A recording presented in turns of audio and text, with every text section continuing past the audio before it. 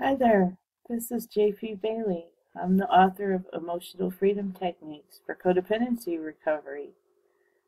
And I'd like to tell you a little bit about how EFT tapping can really help the recovery process for adult children and abuse survivors. You can use EFT as an emotional regulation tool just to help you with emotional upsets along the way. Just that alone is huge for people in recovery. It can help you get past mental blocks like limiting negative self talk and negative self beliefs so that you can clear the way to your personal power, to, which is like confidence and feeling courage and faith and, and more of a resourceful state of mind instead of these mental blocks that are holding you back. And I've actually really used these techniques. They're so powerful. They can really help you rewire that self sabotage switch that seems to be operating in your brain when you're really stuck in unresolved traumatic issues. And it can really help you move forward. I mean, I think tapping, going along with any recovery program, is is like recovery on steroids, let's say really, really can save you years of um, struggle and pain. Now, uh, EFT tapping has been around since maybe the late, mid to late 1990s. It's been clinically proven over and over again in research studies. It's a technique based on acupuncture, which basically helps you to reduce stress in just a few minutes. It's like acupuncture for the emotions without the needles.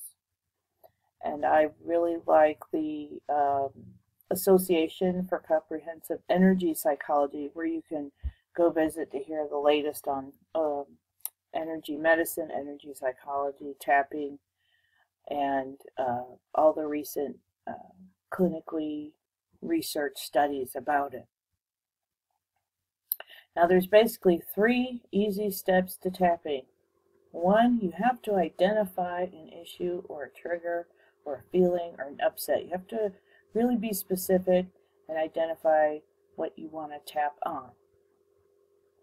Number two is then rate that stress on a scale of 1 to 10 of how stressful it is, how bad it feels, and 10 would be the worst. Okay, and then 3 is tap on the issue. So there's lots of different free diagrams and tap along videos online. There's diagrams of my book. Um, you just got to know what to tap on, really feel it and tune into it. Give it a, a, a SUD scale of 1 to 10 and then tap on it. So you have to be mindful. You know, even write it down. Write a specific thing down, give it a number, tap on it, and then rate it on a SUD scale again so you can see that number going down. When we talk about picking an issue to tap on, well, there's 500 tapping statements in my book to tap on for codependency, but in general, you're tapping on, you know, fears, anxieties, worries, maybe it's anger, resentment, frustration, feeling revenge, feeling annoyed, then maybe loss or grief, sadness, pain, love, pain, heartbroken, or any self doubt or confusion or overwhelm or feeling bewildered or confused or manipulated, even. State the problem like a sentence.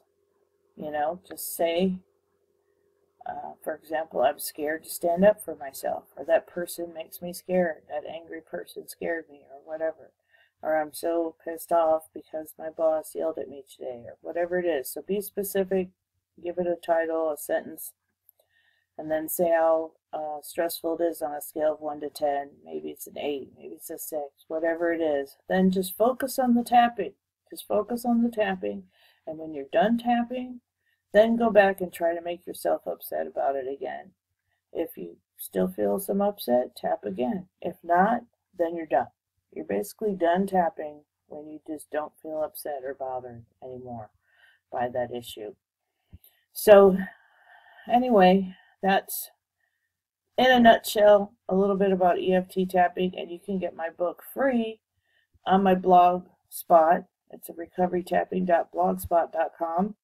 You can find me on Facebook. I'm JP Bailey MA. Um, and I have a page called Recovery Tapping there. But the quickest way to my book is hop on over to my blog spot, which is recoverytapping.blogspot.com. And uh, right here, you just put your email in that little box, and I email it to you automatically. It's already set up on automatic. So I hope you get a lot out of that. Um, I'm also had put in over 500 uh, positive recovery statements to tap in once you tap the negative stuff out. So I just wanted to let you know that and please pass it on to all your friends. You never know who might really need this and it could change someone's life. Hopefully yours. And I'm sure for the better. It's changed mine and that's why I'm sharing it with you today. Thanks so much for listening. Take good care of yourself. Bye bye now.